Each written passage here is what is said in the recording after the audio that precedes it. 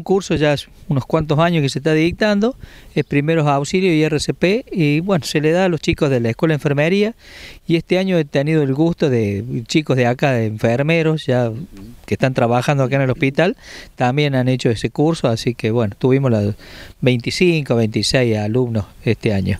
Bien, un curso muy completo, ¿no? Ocho meses dura, me dijiste. Exactamente, dura ocho meses, general, se trata de primeros auxilios, de RCP, de la atención al paciente politraumatizado.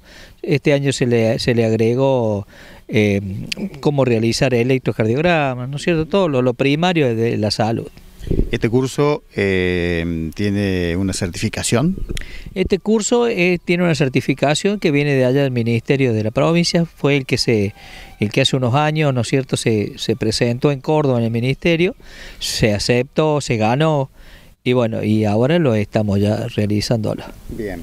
¿Sigue habiendo o sigue esta tendencia a que la gente se interese por saber lo mínimo de primeros auxilios? Hay más ciudadanos, digamos, que se interesan a través de escuelas, de instituciones, particularmente también en, en hacer estas capacitaciones. Sí, sí, se ha mejorado mucho este año.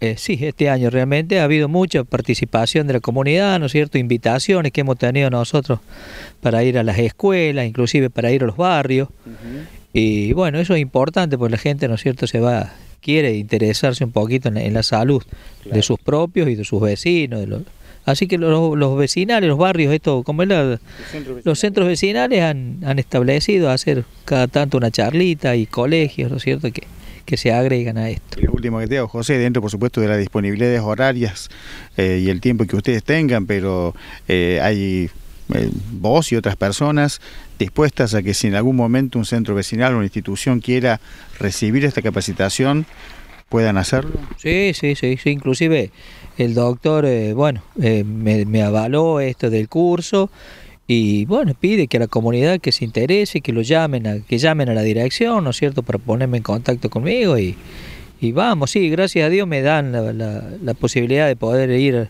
a la hora que sea, ¿no es cierto? Eso lo manejo yo, a la mañana, a la tarde, ellos me dan esa, esa posibilidad, ¿no es cierto?